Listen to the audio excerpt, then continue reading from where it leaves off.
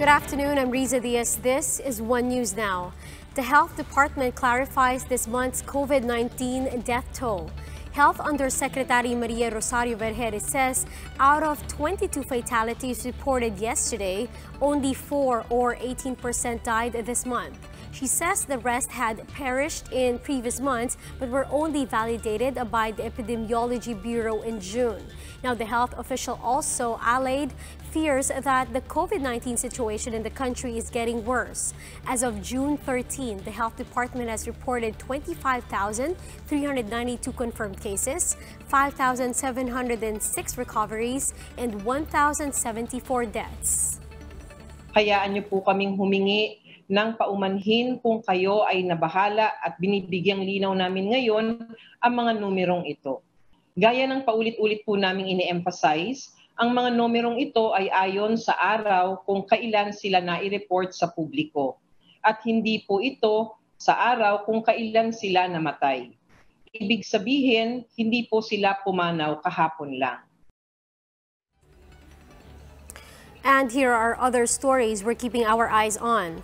The Philippine National Police has launched hot pursuit operations against alleged terrorists in Sulu.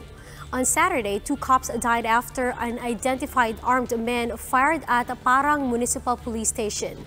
PNP Chief Police General Archie Gamboa says they have also provided medical attention to other wounded police officers.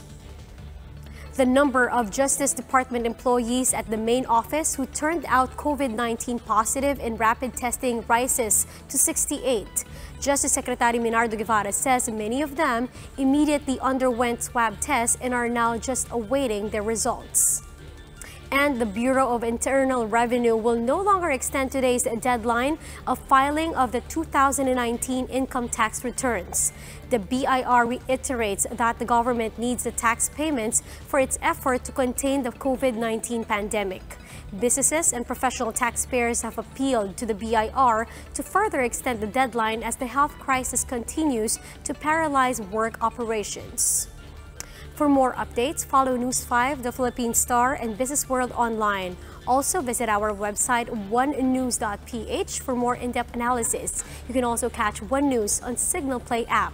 Register for a free account now at www.cignal.play.com and stream One News live anytime, anywhere. I'm Riza Diaz. We are One News.